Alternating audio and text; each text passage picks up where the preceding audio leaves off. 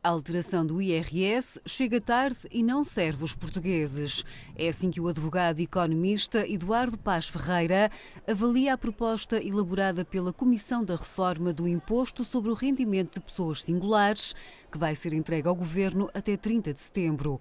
O documento sugere a eliminação progressiva da sobretaxa de 3,5% e fixa o valor das deduções, dispensando a apresentação de comprovativos. Esta é uma reforma tardia e uma reforma fora de tempo. Quando se começou a mexer nas questões fiscais, devia-se ter começado pelo IRS e não pelo IRC.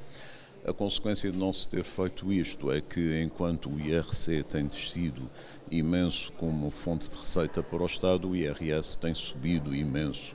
E isso significa que os cidadãos, os consumidores, cada vez têm menos dinheiro.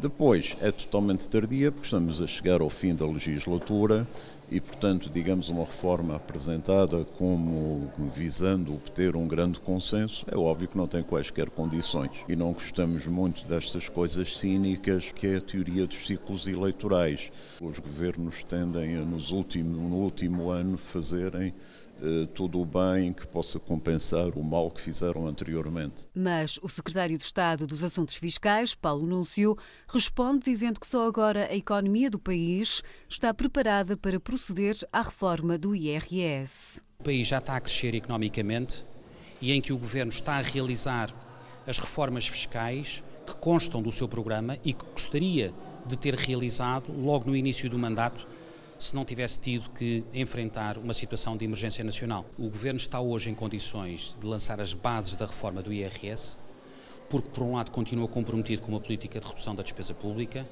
em segundo lugar, porque a economia finalmente está a crescer, em terceiro lugar, porque o Governo está empenhado numa reforma da fiscalidade verde que poderá permitir a redução de outros impostos e, finalmente, porque o Governo está a travar com sucesso o combate à fraude, à evasão e à economia paralela. Declarações prestadas à margem de uma conferência sobre a reforma do IRS, organizada pelo Instituto de Direito Económico, Financeiro e Fiscal. O encontro juntou fiscalistas e membros da Comissão da Reforma do IRS esta sexta-feira à tarde em Lisboa. Eduardo Paz Ferreira deu ainda nota positiva à simplificação do imposto proposta pela Comissão, mas alerta para os problemas constitucionais que podem ser levantados. Mesmo esses aspectos que têm a ver com a simplificação do sistema comportam algumas soluções de constitucionalidade duvidosa e são claramente insuficientes. A igualdade que é estabelecida para as deduções, independentemente de, do valor do rendimento, é um exemplo típico de que não é justo. Portanto, é evidente que penso que uma reforma séria do IRS tinha que passar por uma alteração profunda das taxas, por uma redução profunda das taxas. O documento que vai chegar às mãos do Executivo de Passos Coelho é apenas uma proposta. Compete depois ao Governo decidir se avança ou não com essa reforma a partir de 1 de outubro.